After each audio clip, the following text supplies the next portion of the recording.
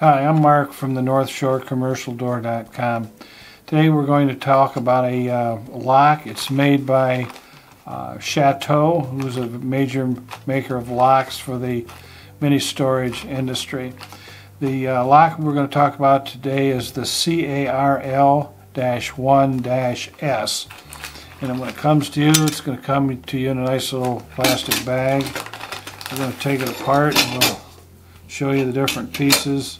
This is the lock.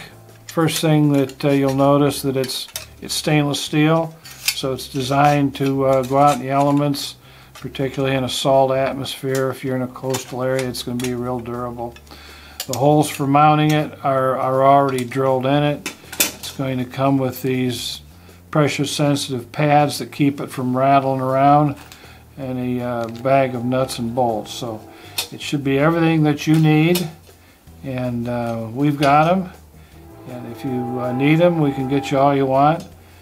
If you have any trouble when you get it, you, or you don't understand by looking at it, um, you're always welcome to call us and ask us some questions. We'll help you in any way that we can. So we've got them. Come get them and enjoy them. Thank you.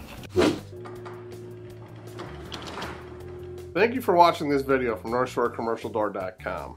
Please subscribe to our channel so we can continue to make content like this. Thank you.